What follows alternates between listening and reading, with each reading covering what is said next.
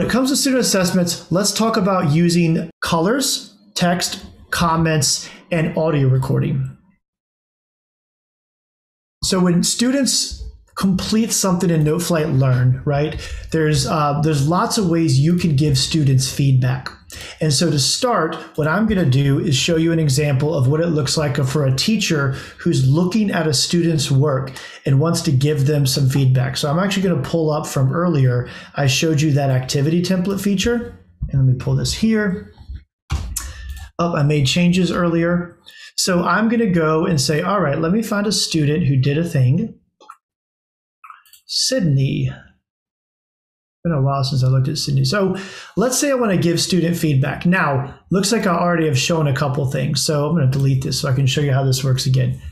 First thing I like to talk about is colors.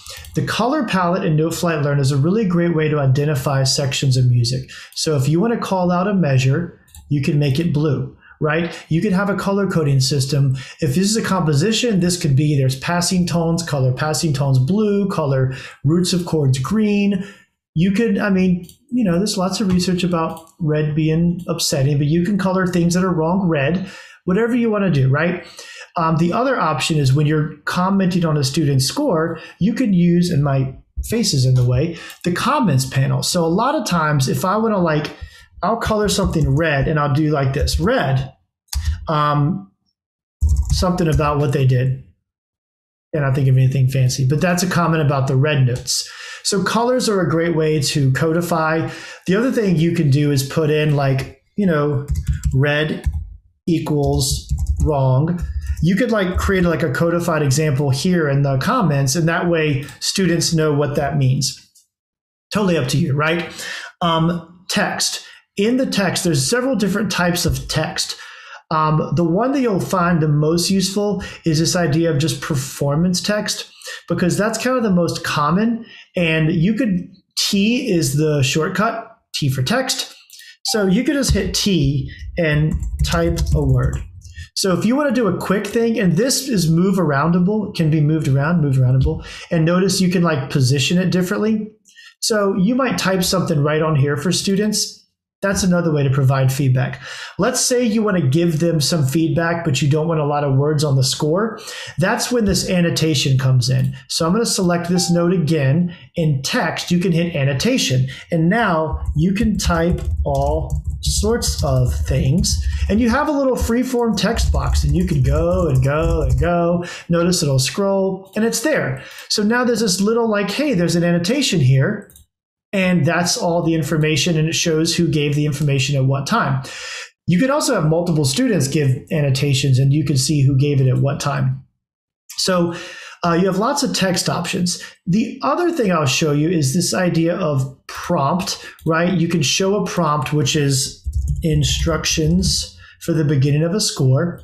You could also, you have text blocks before or after a system. So if you want to like say something before the system, I can do text box before system, and this gives me a block to type lots, and you can type lots of words. The other thing here is that this block auto formats, so you can even make a number list. How many things did you get wrong? Let me count the rates. Well, one, you did this. Two, you didn't do this. Maybe it could be positive too. Three, we did this. You can create this numbered list, and I'll just keep going a little bit. And notice Noteflight will format around it. So you have a text block and Noteflight will automatically format everything, right?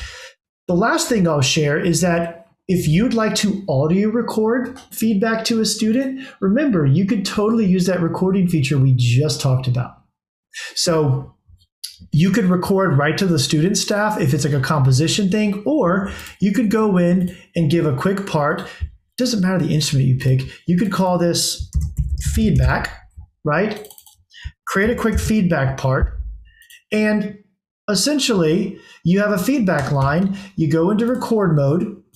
And here's another power tip. By default, record mode does not let you hear um, what the student did. But you can, of course, go in and say, you know what, I want to hear the students playing while they play back. And you just hit record and you can just start talking and you just have a blank track of talking, but it's cool. So let me, I don't know what this demo audio is. So we're going to have a, a, an adventure on this. So let me show how this works. I've selected this and I'm going to be like a judge's tape, right? Wow, that's great. Wow, that's John. That's my voice as demoing this before, which is awesome. The irony of me already having demoed voice comments on this score is incredible. Now, the thing I wanted to show you is remember the parts panel where you can hide this? Well, guess what? Just hide it.